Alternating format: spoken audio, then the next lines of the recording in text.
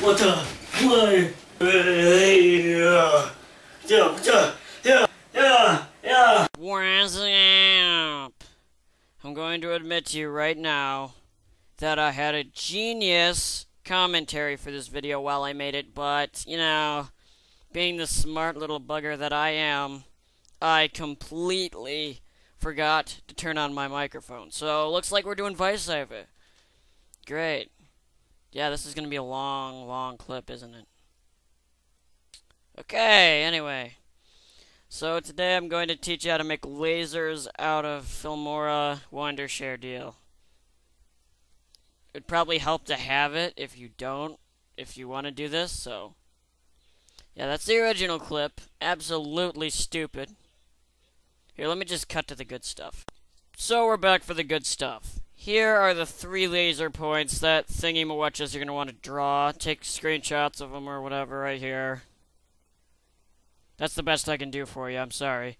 Anyway, well, I probably could put a link, but that'd be difficult. And I'm lazy. So just go ahead and upload those to your little source pool, Mwacha, I guess. And then you're gonna drag them into each place where a laser needs to be, matching up the distance, the uh, flatness, I guess, and green screen each them of them in. Each one should only last for Give it a second. Just give it a second. Hang on. Don't quit on me, soldier. Don't you quit on me yet. There. One millisecond. The lowest of numbers. You're going to want to try to fit each laser frame into and make it flat-ish, I guess you know, make it look like it's actually going somewhere. Yeah, let's just cut this whole flipping part. And so, you kind of just paste each thing. Only, every laser should only last like three frames. And as it moves, you really need to shrink each of them going, because it's going to be moving so fast, technically you wouldn't be able to see it. And also, hang on, just give it a second. Yep. Okay, anyway, I downloaded this little spark explosion from like a welding thing. That seemed to work really good for when the laser strikes. If you want to add like a full-on explosion, go ahead and do that anyway. It's pretty easy just to download stuff off the internet like that, so... I mean, I mean, so the explosion... I like the sparks better. Explosions are optional. I think it looks decent. Right? Right. Um, it's all about angles. Don't forget angles, and I'll show you a couple different. Um, I feel bad about saying angles. angles.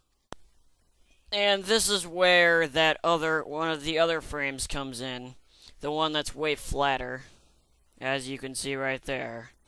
Man, I wish that voice, that commentary. It was way better than this. Next time, okay? Uh, I won't let you down next time.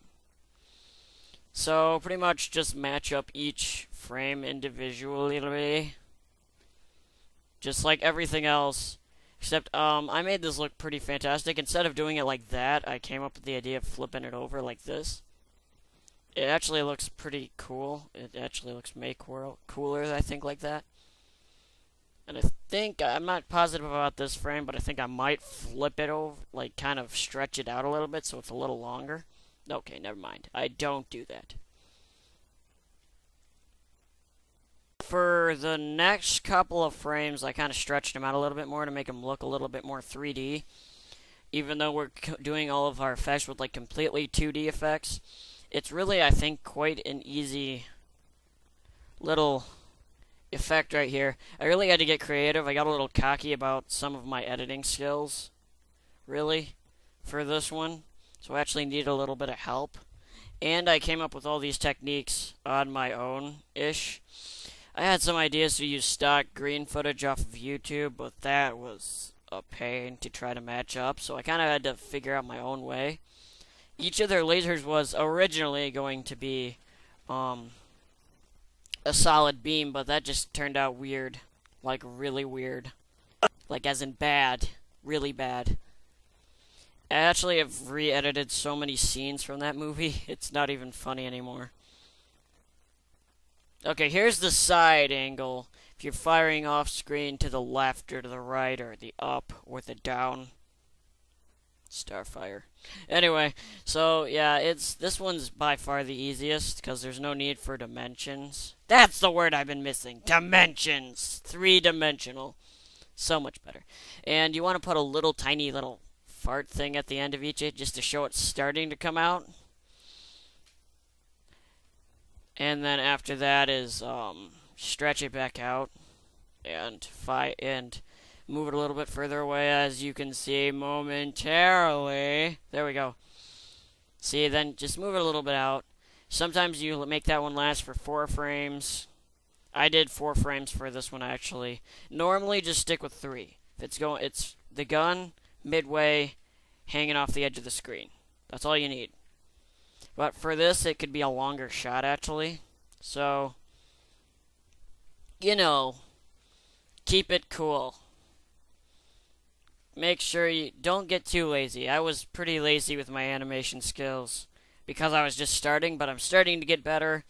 And let me know if you want to see more of it. Write down in the comments, like this video,